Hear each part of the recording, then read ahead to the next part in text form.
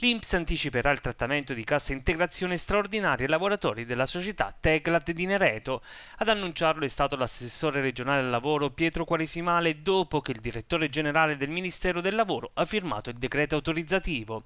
Il provvedimento riguarderà i 45 dipendenti dello stabilimento, compresi dunque anche i dipendenti dell'altra unità produttiva di Corropoli. Sì, dopo il tavolo che abbiamo fatto in regione mi sono attivato immediatamente eh, con il Ministero eh, perché l'azienda ha chiesto la cassa integrazione eh, per i dipendenti, circa 45, ma non aveva eh, la possibilità di anticipare questo trattamento. Quindi io mi sono attivato, sollecitato il Ministero affinché autorizzasse l'Inps eh, ad anticipare queste somme.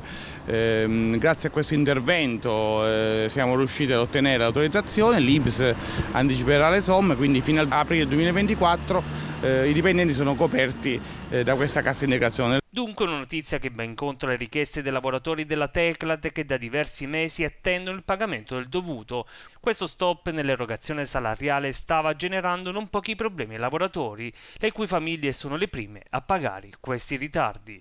Frattempo tramite il centro per l'impiego di Nerete che è quello competente metteremo in campo una serie di azioni eh, per cercare di riqualificare questo personale perché questa azienda si sta ristrutturando, quindi farà nuove linee produttive e quindi nelle more cercheremo di formarli, qualificarli per poi reinserirli nel mondo del lavoro. Quindi ovviamente si pensa al futuro di questa azienda e non solo? Sì, eh, in questo caso parliamo di Tecla, però eh, siamo attenti a tutte le situazioni sul territorio, eh, voglio ricordare che eh, questa mh, azienda insiste sul territorio di Corropoli e Nereto, quindi nell'area Valvibrata, di cui abbiamo fatto la proroga per l'area di crisi complessa, partiranno una serie di bandi sia a livello di sviluppo economico per l'acquisto di nuove strumentazioni, sia come politiche formative e soprattutto partirà il nuovo FSE 2021-2027 in cui sono previste una serie di incentivi all'assunzione di giovani, donne, disabili e over 50.